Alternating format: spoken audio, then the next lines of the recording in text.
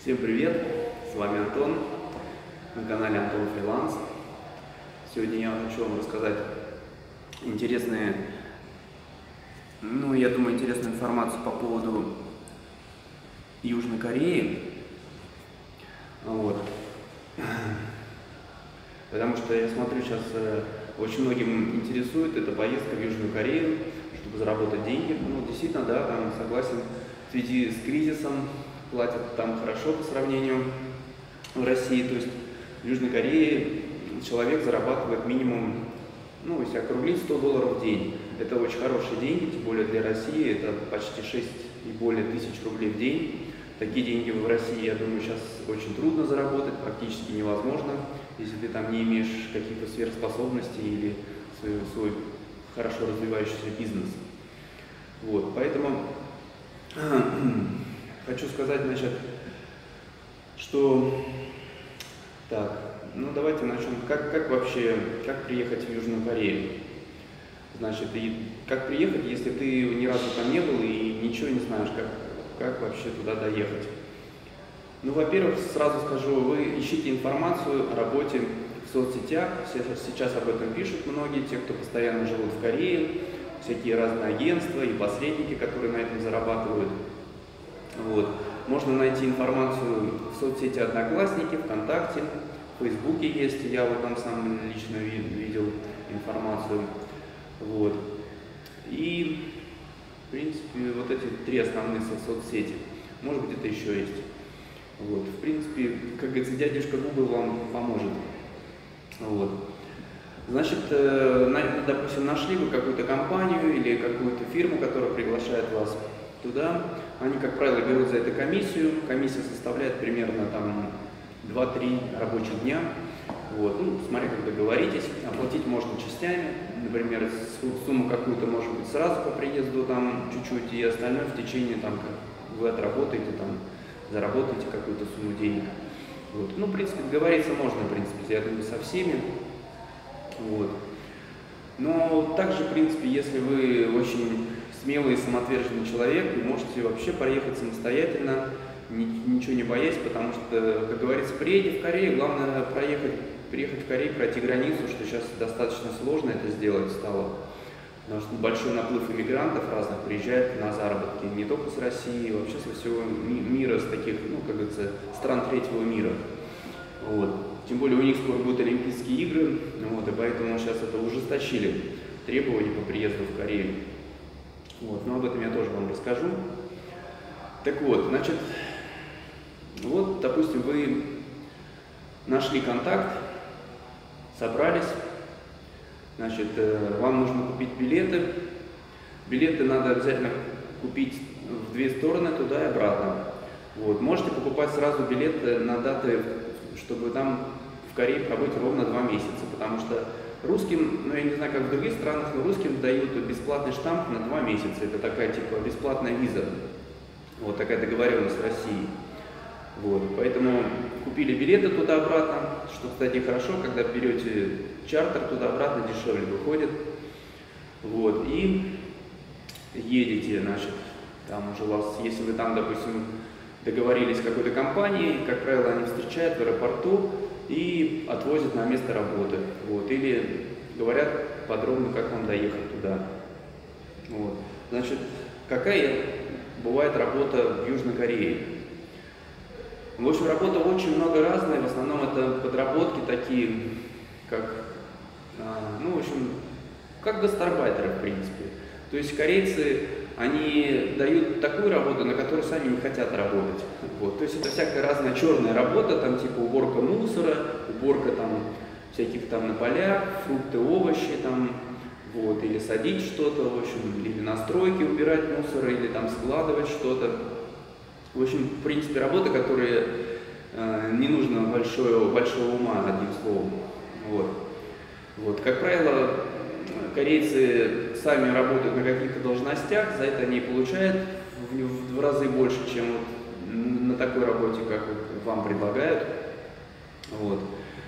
Поэтому вот так вот обстоят дела. Ну а работа есть, это, во-первых, поля, поля, вот, уборка всякие фрукты, овощи, ну, вот, там в общем, сбор, в общем, всякого-всякого на полей, на полях. Вот. Это достаточно трудная работа, очень сильно спина устает, то есть нужно физически хорошо быть подготовленным, вот, и, в общем-то, морально тоже сильным. Вот. Потом есть работа на фабриках, заводах. Вот. Туда, в принципе, в основном берут с рабочей визой, но можно устроиться без рабочей визы, вот. но, как правило, туда устраиваться лучше сразу, как вы приезжаете, потому что туда обычно берут где-то минимум на два месяца и выше, потому что чтобы вы там привыкли к этой работе уже и постоянно, как говорится, работали, выполняя одну и ту же работу. Им это выгодно так, когда человек уже, уже знает, что, что делать. Вот, поэтому так вот. А плюс такой работы на заводах – это то, что заводы обычно предлагают работникам жилье и питание. То есть вы экономите в разы, вот, но за это они урезают зарплату. То есть, если сравнить на Арбайте зарплата в среднем в день 100 тысяч вон, то на заводе дается ну, от 50 там где-то до, если хорошо, то до 80 тысяч вон. Вот. Но если вы нашли работу на заводе там 80-90 тысяч, смело езжайте, потому ну, это выгодно. Потому что вы экономите на жилье, на питании. Вот, потому что работа на Арбайте это на, через биржу труда самостоятельно, вам все равно приходится где-то жить, снимать квартиру, соответственно, питаться самому. А бывает еще так, что дни такие, когда могут не дать работу, соответственно, у вас идет в минус день, вы не работаете, вы тратите деньги на еду вот, и на, всякое, на всякие нужды. Вот. Поэтому нужно смотреть, какая работа. Так вот, далее, есть работа на стройке. Вот. Настройки могут, могут платить хорошо. Вот. Тоже разные объекты, смотря какие объекты, какая компания. Вот. На стройках платят около 100 тысяч. Вот. Бывает, зарплаты доходят до 120 до 130 тысяч вон в день. Вот. Это в зависимости от того, там, если есть переработка, потому что в Корее считается рабочий день где-то с 6-7 утра и до 6 вечера. Остальная переработка идет за дополнительную оплату. Тоже имейте в виду, потому что не всегда об этом говорят и могут, как говорится, умолчать и, соответственно, себе на лапу получить ваши деньги. Вот. Ну вот эти основные такие работы, в общем, хотя есть еще разные работы в отелях для семей, и там уборка территории, там и на заводах кому-то помогать, там с электрикой, там, вот, или, или там что-то перевозить, что-то разгружать, там на, на ну, в общем, Работа совершенно-совершенно любая, разная, разно, разная, разная, разносторонняя, что, наверное, все и не перечислить. Вот. Да, даже, может, я и не все знаю, потому что я работал, ездил в Корее только один раз, вот, и я же не везде был-то, вот, где-то что-то еще есть, чего я, может, и не знаю. Так вот, да, кстати, ко мне сразу хочу сказать, можете не спрашивать, как я могу устроить вас Корею, потому что я не агентство, я не агент, я на этом не зарабатываю. Я обычно простой русский парень, такой же, как и вы. Вот, также просто приехал в Корею на заработки. Вот. Ну, сейчас просто обладаю какой-то информацией, с которой я могу с вами поделиться.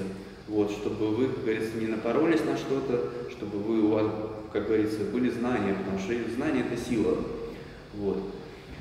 Что еще хочу сказать о Южной Корее?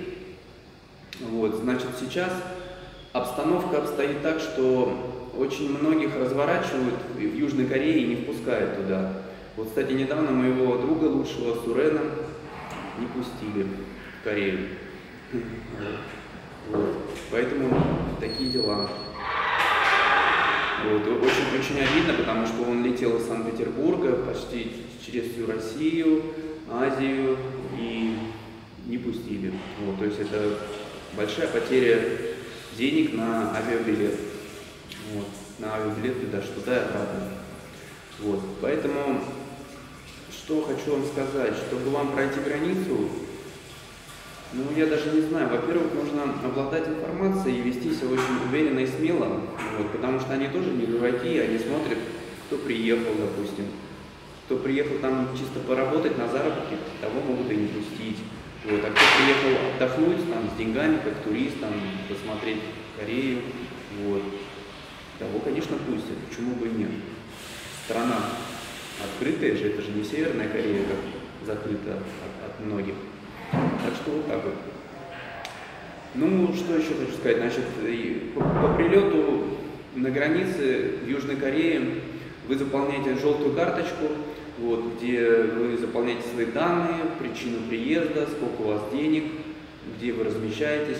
Вот, поэтому заранее подготовьте эту информацию, вот, заранее узнайте, в каком отеле вы хотите разместиться, то есть нужно знать точный адрес, телефон, может быть даже имя какого-то менеджера, вот, потому что это в карточке надо обязательно написать. Потом нужно иметь какую-то сумму денег и самое главное выглядеть очень красиво, опрятно, достаточно богато, чтобы было видно, что вы турист с деньгами.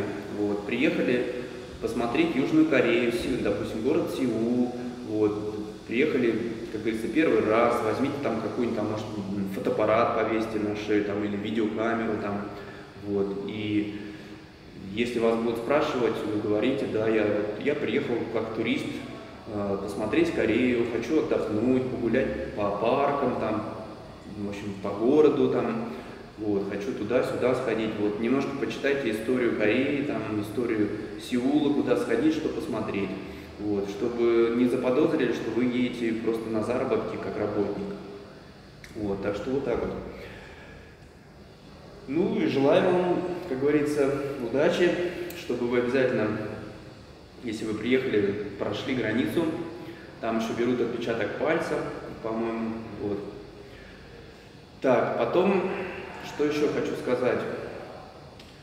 Если, кстати, если у вас есть возможности, деньги, то лучше, я думаю, у себя в стране, у себя в городе найти посольство Южной Кореи и сделать туристическую визу на три месяца. Потому что, мне кажется, если у вас в паспорте уже будет стоять туристическая виза, то у вас больше шансов, что вас пустят в Южную Корею. Вот. Ну и, конечно, билет обратно. Вот. Лучше не подделывать, наверное, билет, потому что они могут, наверное, проверить по базе или как-то еще. Вот. Еще вот, кстати, у меня был случай, у меня друг, вот, я же сам в Таиланде живу, в Паттайе, вот, уже 4, 4 года, вот, и вот у меня друг э, Дима, он, значит, поехал тоже на заработки, его, кстати, пустили, но что интересно, что вот в Бангкоке, в аэропорту его заставили купить билет обратно. Вот, то есть, видимо, такое идет распоряжение в Южной Корее, чтобы люди, которые летят к ним, чтобы те страны там проверяли, есть у них билет обратно, чтобы ну, они там не задерживались. Потому что сейчас в Южной Корее большой наплыв иммигрантов, многие, понимая, что хорошие деньги, хорошо можно заработать, остаются в Южной Корее как нелегалы, уже без визы. Вот, вот например, у меня есть друг еще Никита, тоже мы с ним здесь в, в Таиланде жили, общались. Вот, вот он один раз съездил туда, приехал, хорошо заработал и еще раз поехал. Вот, и и остался там уже как нелегал, уже живет там почти полгода. Вот. И таких людей очень много сейчас в Южной Корее, которые остаются, живут, и не только из России, из всяких стран СНГ ближайших, ну, от России, там, типа Казахстана. Вот. Так что вот такие дела обстоят с Южной Кореей. Что еще хочу сказать? Ну, расскажу, где я работал. Вот, значит, я изначально я приехал работать на морской капусте на острове. Вот. Меня разместили в семью, вот. обещали платить по контракту 2 миллиона вон в месяц. Вот. И э, когда размещают вас в семью, вот, как правило, а, они кормят вас, дают где спать. Вот. Это, конечно, выгодно, но зарплата достаточно маленькая. То есть если 2 миллиона разделить на месяц, то в день получается вы зарабатываете примерно где-то там 60-70 тысяч. Вот. И работа очень тяжелая, могу сказать. То есть я лично попал на очень сильно тяжелую работу. Это нужно было даже переработка по времени была, и условия труда были тяжелые, особенно когда мы выезжали в море, в холод за этой морской капустой, срывали ее, доставали там со дна срывали, она скользкая, слизкая, там вообще ее вот так вот брать, она у тебя из рук выпадывает, там у нас даже одна девчонка, с которой мы работали, она аж подскользнулась и выпала за борт этого катера, корабля, вот, что, в общем-то, очень опасно, Вот. И я на самом деле, честно вам скажу, я смог продержаться на такой работе только где-то 4 дня. И все, я не смог, потому что помимо того, что тяжелая работа была физически и морально было очень тяжело, потому что корейцы, как правило, вот, они хорошие люди, вот, но люди разные, вот, на меня кричали, орали, вот, и я не выдержал такого напора чисто морально. Вот, и в этот момент я еще смотрел информацию, я нашел работу как раз в тот момент в клинике а, на это, а, как вам сказать сейчас, ну, в общем, чтобы опыты лекарства были разные, вот, и, и на волонтера такого, да, я, кстати, хорошая работа была, я остался, меня взяли, вот, прошел там анализы, все сдал хорошо. И, вот, ну, может быть, если вам интересно, я об этом вам тоже запишу, видео расскажу. Хотя уже можно найти у меня на канале видео, где я там в этом госпитале рассказываю. Вот, можете, кстати, посмотреть. И если такое интересно, то можно в таком варианте тоже работать, если устроитесь, повезет. Вот, то есть я лежал в этой больнице всего 7 дней, и мне за эти 7 дней заплатили полтора миллиона вот. Это очень хорошие деньги, потому что ты, в принципе, ничего не делаешь, там сидишь вообще в кровати, тебя кормят, там поят, ну, сдаешь там кровь, там принимаешь лекарства, там, ну, это чуть-чуть, как бы там побочных эффектов ни у кого не было, все чувствовали себя отлично. Вот, то есть вот такой вариант. Так что я, в общем, нашел эту работу, вот, и в этот момент я уже понял, что я морально не выдержу работать в этой семье на этой морской капусте, и я им сказал, что я себя плохо чувствую и хочу уехать вот, вот. Корейцы, они, как правило, по деньгам, они не обманывают, они четко платят. Мне вот выплатили за эти 4 дня, которые отработал. Вот. И на эти деньги я уехал в Сеул, вот, и там, вот, в общем, попал вот на эти медицинские исследования. Вот. Что, в принципе, очень рад этому. Вот. Ну а параллельно я общался там с людьми, которые познакомился, общался, с которыми там уже давно работают. Вот. Узнал, что есть такое арбайты в каждом городе, по несколько арбайтов, что, в общем-то, можно работайте на Арбате. Вот. Поэтому я после больницы, я стал искать эти арбайты. Вот. Мне посоветовали, что в Сеуле есть э, на станции, э, в общем, есть русский район тоже, если вот вы приехали, кстати, в Корею, не знаете вообще, где найти работу, вот, вы можете поехать в Сеул, спросить, где есть район русский, где живут русские, там, ну, не только русские, и граждане из ближайшего зарубежья СНГ, вот, и там походить, поспрашивать, где есть работа, потому что вот я также ходил, поспрашивал, и вот мне очень повезло, я познакомился с одним парнем, он даже был не русский, вот, казах, и он мне показал, где есть арбайт хороший, даже это было не в самом Сеуле, а мы поехали на метро, потом на автобусе, ехали где-то два с половиной часа, вот, это город Сиасан, и нет, там еще был другой город, но я не помню название. Но если вам интересно, я, у меня есть точка на карте, я думаю, я это, короче, думаю, да, сейчас звонок параллельный, но ничего, видео идет, я думаю, сейчас отклоню запись. Короче говоря, в общем, постараюсь найти эту точку, размещу под видео, вот, как, где находятся это, эти арбайты. Вот. Ну, и если вы заработаете, потом можете мне там на счет выслать какой-то процентик, что для развития, как говорится, моего канала и новостей и так далее. Так что такие дела. Значит, что еще хочу сказать по Южной Корее. В общем, на Арбате будете работать, платят сразу в день, в конце рабочего дня. Вот. Квартиру можно найти, в принципе, также пообщавшись в русском районе со знакомыми или на Арбате, с кем вы там познакомитесь, и можно вместе параллельно снимать, скидываться там. Квартира примерно стоит а, около там 10 тысяч рублей в месяц. Ну, это я имею в виду, если с кем-то скомпоноваться, там 2-3 человека скидываться. Вот, так, что еще хочу сказать. В принципе, цены, цены в Южной Корее достаточно высокие, конечно, но не так, чтобы сильно высокие. В принципе, если вы зарабатываете там где-то на арбайте или еще где-то, то есть э, этих денег будет вам хватать и на жилье, и на питание, и еще откладывать, чтобы потом с этими деньгами уехать.